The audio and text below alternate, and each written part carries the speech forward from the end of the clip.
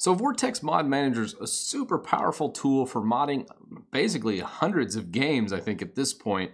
All the Fallout series, Skyrim series, Witcher series, just to name a few. And in today's video, we're going to be modding Fallout 4 using it. Uh, I'm going to walk through installing it through Lutris, manually setting like the search folders because obviously it's inside a wine bottle. We need to get outside and discover all our games and mod them using it. And we're going to go into that and then go in and activate the mods and play the game. And I'm gonna go ahead and cut over to the desktop right now to show you all of this. Okay, to start out here, we need to go to lutris.net and search for Vortex Mod Manager. If you look at my title bar here, this is the actual, the actual address for it.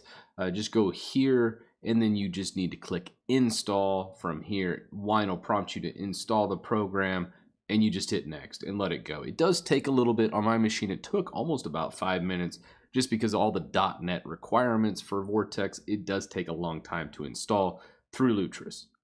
With this installed, go ahead and pull up Lutris and then on Mod Manager or Vortex Mod Manager, go ahead and hit play. With this, it should go ahead and launch into Vortex Mod Manager.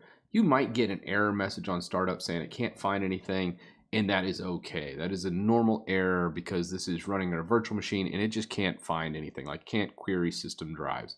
And we're going to fix this. Now you won't see any games by default. We need to add those. To add them, go to settings on the left hand side, go over to games, add search directory, and then go into my computer. Um, click on the Z drive, and then you need to pick out your Steam library. So let's go to mine.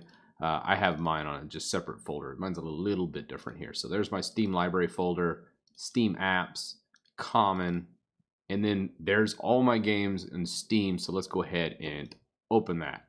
From here, we've added the search directory. We can actually go ahead and do a full scan. So if you click dashboard and then scan for missing games. So we go ahead and click that and the discovery will go through and pick up any games that you're missing. So if we go into games, it'll say, one, I've already managed this one and added it, but under discovered, it said, hey, I have Witcher 3, I have Fallout New Vegas, and Fallout 3, which I have all three of these games installed right now. That's what it found it, but it supports so much more. But with that search folder, it can now find them from your dashboard, which is pretty sweet. Also, if you need to rerun the scan instead of going through the dashboard, you can also do it from the Games tab here just by going scan and then doing a quick. And if it still doesn't find it, you can do the full. However, most time full is overkill. So from here, we have Fallout. However, it doesn't work quite the same as Windows. As with anything in Wine, there's a couple little tricks that you need to know about. So let's go ahead and pop back over here. Now let's pretend we are going to download this specific file. On Windows, you'd go to your mod and go, I want Vivid Fallout all in one. What a great mod and then you'd click Vortex and it go ahead and pop up and link up with your Vortex application. However, that is not the case here. Here you have to manually go over and hit manual download and download the zip file. From there, you'd have to go into the downloads and then pull up Vortex as well. So let's go ahead and do that. We'll go into our manage game by clicking mods and then you'll see right here. Right now, the managed game we have is Fallout 4, so we can click mods and then just drag and drop what we need. So Vivid is what we have. You already see the unofficial Fallout patch there, so that's good. I'll go ahead and minimize this, and we'll go ahead and maximize this. So with this, you'll see we've now dragged and dropped that tar file or that uh, zip file in here. We'll go ahead and hit install, and it go ahead and install it into our directory.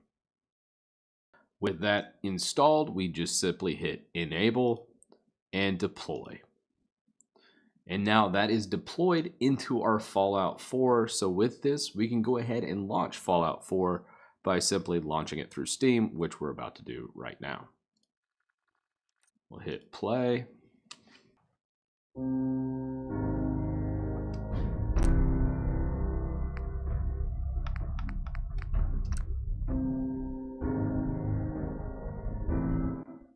And if we go to load order under our mods, you'll see the two are right here.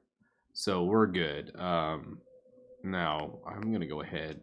And you can enable both of these from this menu. And from here, we pretty much good to go. Let's go ahead and go back and back. And it'll go ahead and reload the save files. Let's do load. And do this quick save here.